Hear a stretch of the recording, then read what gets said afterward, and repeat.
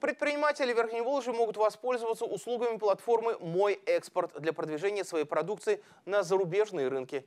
Они доступны на B2B маркетплейсе «Профессионалы экспорта». Поддержка осуществляется в рамках национального проекта «Международная кооперация и экспорт». Напомним, что новые направления экспорта обсуждались на недавней встрече губернатора Игоря Рудени с делегацией китайской провинции Леонин – у компании Верхней Волжи есть возможности для увеличения поставок в КНР продовольствия, продукции кожевенной, металлообрабатывающей и деревообрабатывающей промышленности.